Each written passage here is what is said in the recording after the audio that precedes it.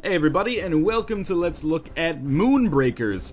This is a new free-to-play game. I guess it's not new, but it's new on Steam. It's previously existed, I think it's like a plugin you can get for Google Chrome, which is a little bit weird. But anyway, free-to-play now out on Steam, and this is like a space dogfighting game. Almost you can think of it as like an objective-based shooter, but instead of having like a gun and being a dude in first person, you are third person spaceship. And also there's objectives that you have to accomplish, like capture the flag or, you know, destroy the enemy's carrier. In a, in a way, it's kind of like like a space version of Crimson Skies. And actually, gameplay wise, absolutely no problem with this game whatsoever. I had about uh, a little bit over an hour of playtime so far, and I was actually enjoying myself. Like, there's problems with it, you'll see when we get into the game. But the real problem I have with it, and I think I've expressed this before, uh, is the kind of free-to-play model that they've gone with. I think you'll find, you know, if you look at most of my, my free-to-play videos, I kind of have a negative opinion of them, and largely that boils down to the business model. This game has one of the worst, like, free-to-play slash pay-to-win, and I do use that derisively for once, uh, models I've ever seen in a game. But first we'll play one, just so you can see what's going on, uh, and then I will talk about that a little bit later. So one thing that's really weird is that you can't like join your friends in a match or invite them to a game. You just kind of have this quick match function. So we have a lot of ships here. You can see there's like 5, 8, 13, so like 18 ships, but we can only choose between two of them. We can only choose between the Mamba and the Rhino. So we'll take our light flight or light fighter Mamba here. And I'm not really sure what game type this is right now, uh, but I'm just going to basically treat it as if it's team deathmatch. But there's also other modes. Like I said, capture the flag is one of them. There is actually a team deathmatch mode, as well as a uh, like destroy the carrier mode. Those are the three that I've come across so far. But for now, I'm just going to try to get some kills and kind of show you the uh, the way things work. So I'm piloting this spaceship. W, A, S, and D are kind of like roll, move forward, or move backwards. Uh, your throttle is mapped to your mouse wheel, so if I really wanted to slow down, I could use my mouse wheel and you know throttle down. And my uh, left mouse button is primary fire, which on this ship is like our machine gun here, or our tracer bullets or whatever. And our right mouse button is uh, torpedo, which we'll see if I ever encounter anybody else.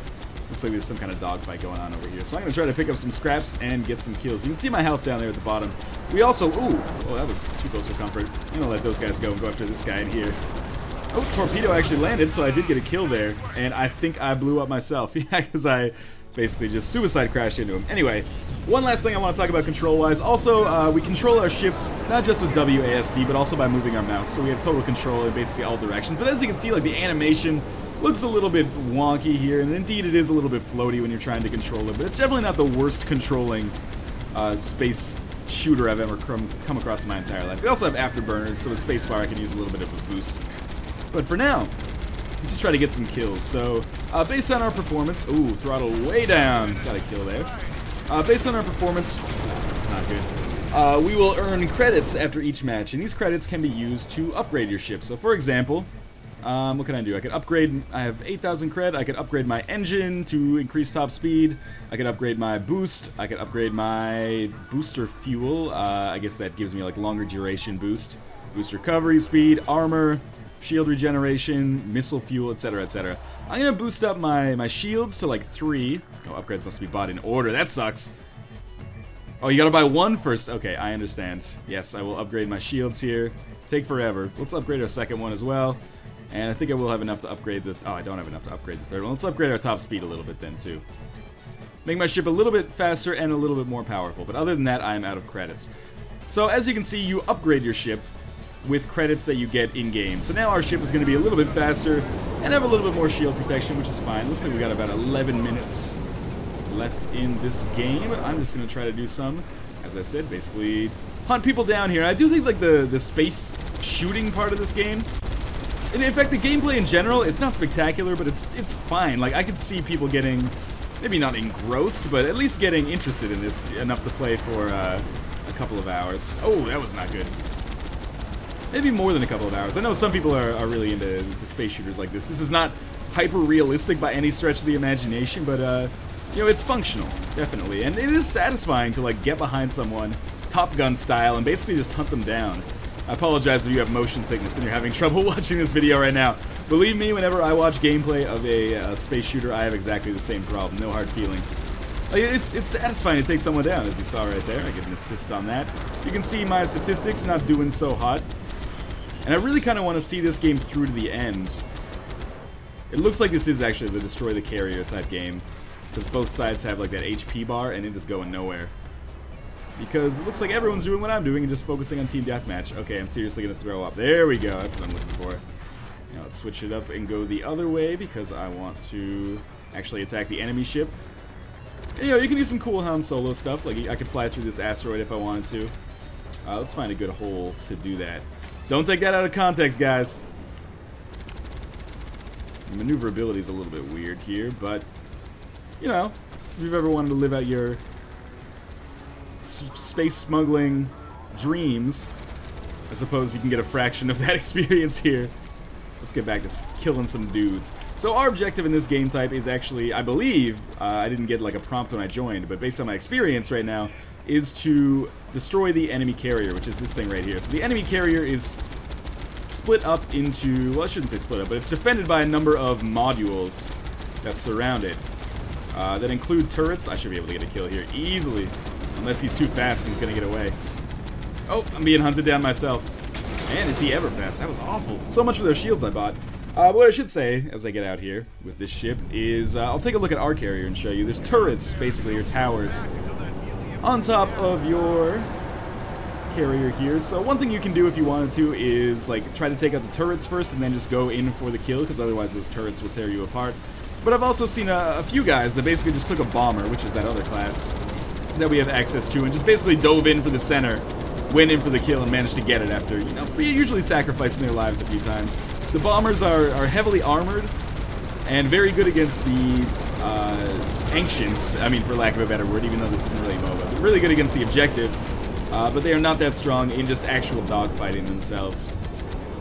So, uh, usually they're they're really easy targets if you're a fighter to take down. Like bombers beat carrier, carrier beats fighter, fighter beats bomber. If that makes any sense at all. Anyway, let's throttle all the way up here, in case I hadn't already, and we'll just basically get into some killing. So like I said, at the end of every match you earn in-game credits, uh, but credits can only be used, at least as far as I know in my experience so far, I'll double check when we go back to the menu, uh, can only be used to upgrade your ship. They can't be used to buy new ships. The only thing that can be used to buy new ships is this resource called Helium-3, and Helium-3 is kind of like one of the conceits of this game, is like, everyone's on the lookout, we're all fighting for Helium-3 right now, because that's what drives the galaxy. Well, you know, that's like a subtle marketing ploy. You can buy Helium-3 yourself uh, with real, you know, hard-earned American dollars or whatever your denomination of choice is. Where did I, did I lose that guy? Why am I spinning out of control? I got my got my flaps all messed up here. Oh, I'm gonna be sick. So uh, Helium-3 is the resource that you use in the game to basically buy every other upgrade, you know, that isn't... Why am I so slow? Uh, every upgrade that isn't just like ship upgrades. If you want to buy new ships, you have to buy Helium-3, and the only way to get that is by using real money, which I think is kind of shitty. Like, the free-to-play players have a substantial disadvantage in one respect because they only have access to two ships and the only way to get access to the other, what was it, like 16 ships in the game is by actually providing real money. So this, to me, seems like a fundamentally imbalanced uh, gameplay, or gameplay model, I should say, because probably 90% of the players are going to be using these free-to-play free-to-play classes, and then there's going to be other classes, or I shouldn't say classes, but ships, uh, are going to be using these other ships that may indeed be better. And in case you're saying, well, maybe all the ships are balanced, so you're not missing out. Everything's actually balanced. It's just that, um, you know, they have a greater variety of, of play styles to choose from, which is the argument, you know, in a lot of free-to-play games like this. We are going to town on these guys. I'm going to start firing some missiles in here.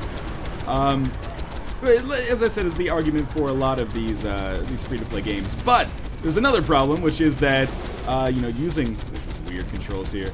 Uh, using your hard-earned, again, American dollars or denomination of choice. Looks like somebody's chasing this dude, so I'm just going to get behind this bomber now, try to take him out. And then actually get behind both of these guys. Fire some turrets in here. Oh, did that? Ah, I came so close to actually landing. So you can use your hard-earned American dollars to also buy you boosts. So, like, right now, I'm going to get, like, a very small amount of credits when this game ends. Probably between, like, 500 and 2,000, depending on my performance, which is pretty poor so far. Uh, but you can buy bonuses to basically multiply the amount of credits that you get after each match for a certain number of days. So for like a certain amount of helium-3, you can get two times bonus for 30 days, or for a certain amount of uh, helium-3, again, which equates to real-life money, just lest you forget, uh, you can buy a bonus that will give you 15 times as many credits after each match for 30 days, which in my mind is just madness. To think that someone could get so much more in-game currency simply by basically, I should say 15 times as much in-game currency by becoming a paid player, uh, which is crazy. And remember that those credits are used to buy upgrades for your ship. So for example, I could have just put, pumped real money into the game to get 15 times multiplier on my credits, then played a number of uh, multiplayer games. Probably not that many, I can't believe I died there uh, a number of multiplayer games, gotten enough credits, and upgraded all of my ships to basically full power, or at least one ship to like level 5 upgrades across the board. So obviously a free-to-play free-to-play player, and that's a surprisingly difficult phrase to say, is going to have a much more difficult time playing against these paid players because they can get the upgrades much more quickly and on more ships. So, you know, fundamentally, although I like the actual gameplay of this, I think it's, uh, at its core, entirely unbalanced, and I think that's shitty, and I think that is going to keep me from playing more of this. What's other what's otherwise a, a fun game, despite the fact that it has, you know, surprisingly maybe not surprisingly, but despite the fact that it has uh, some kind of wonky controls. Uh, otherwise, I was having a fairly good time with it. But when I saw that, you know, you could increase the speed of your progress so fast just by pumping like thirty dollars into the game, I was like, oh, that is that is shitty and leaves a really bad taste in my mouth. Although I guess we won here, so that's good. But it just strikes me as that like Farmville model, right? And you'll notice that the the credits are used to make you level up. So I'm almost level four. In fact, I crossed level four. Uh, and this big buy boost button that wants you to pump in real money. But check out the level of other people in this lobby. You can tell very easily who's paid and who's not. Uh, because like the first time I started playing, there was like all level ones, level twos, and then each team had a guy that was like level 175, which is fucking crazy. Uh, but we'll check out the lobby here and see if we have a similar situation here, or maybe that was just a one-off. You know, I'm trying to be fair to the game. Nope, there you go. So you got people 181, 91, 103, and then almost everybody else is like level, you know, 0 to 10, basically. I'm not going to quit out of this. Maybe we'll play one more game, but I don't know if you really need to see that much more of Moonbreakers, honestly, to form your opinion on it. You can play it yourself, it's free, right? Um, but yeah, looks like that definitely holds true. So there is like a huge advantage here for paid players. And in case you think I'm just whining for no reason, uh, or maybe I'm even incorrect, check this out. So go to boosts. Uh, these are the boosts that boost your credits. So look, I have zero helium-3, and there's no way to exchange credits for helium-3. The only way to get more helium-3 is by buying them. So keep this number in mind, 5,000 helium-3 for $25. Let's find something around 5,000 helium-3. So here's 4,000 helium-3. That'll give you 30 days of times 4 credits. Times 4, quadruple! Quadruple the experience, basically, and resources uh, for an entire month, and that's 25 bucks. So it's not necessarily cheap, but it also does give you uh, an extraordinary leg up on on the average players. And this thing right here, 15 times boost for 30 days, like 15 times as many credits. How much would that cost? 8,000 helium 3, that's like like 35 $33. It's insanity. And uh, watch as I go to the hangar here. Look at these ships. You want to unlock a ship? Uh, available only for 1500 helium-3. So these are all helium-3 only. Helium-3, helium-3. As you can see. And some of them cost a lot of helium-3. Which makes me think that they are, you know, way better than your standard ships. Like, again, uh, what's this? 3300 helium-3? 3300 That's like $15 to unlock this ship. That's craziness.